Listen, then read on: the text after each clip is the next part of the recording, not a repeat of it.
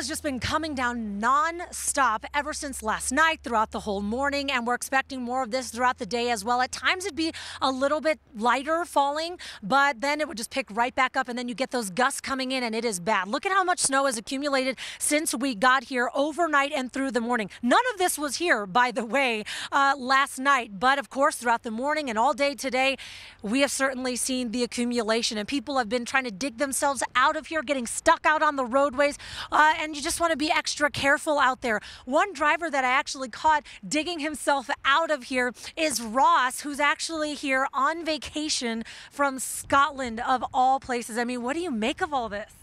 Absolutely crazy. Uh, when we came over on vacation from Glasgow in Scotland, I didn't expect it to be half as bad as this. I thought there might be a light dusting, but yeah, this is this is mad. And you're here to mark a special occasion. You're here on a birthday trip with your dad, Scott, a 30th birthday trip. How are you guys going to remember this? Well, apart from the fact I'm getting old, it'll be uh, it'll definitely be a memory for life. Um, it's it's something that I'll definitely remember on my 40th birthday, my 50th birthday, but it's going to be a good memory. It could be two feet deep in snow and I'd still be happy.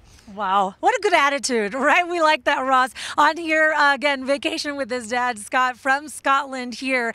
And uh, he was digging his car out for about an hour. So it might be a little bit sore tomorrow, but that's going to be the case for so many drivers who, again, are trying to dig themselves out. Now, I have been in contact with the streets director here. He says he's having people from other departments come on in and help them out with the snow plows. So they're saying give them some room and let them do their work. Try and stay off the roads if you can. It's better to just stay safe. Reporting in Flagstaff, Allison Rodriguez, ABC 15, Arizona. All right.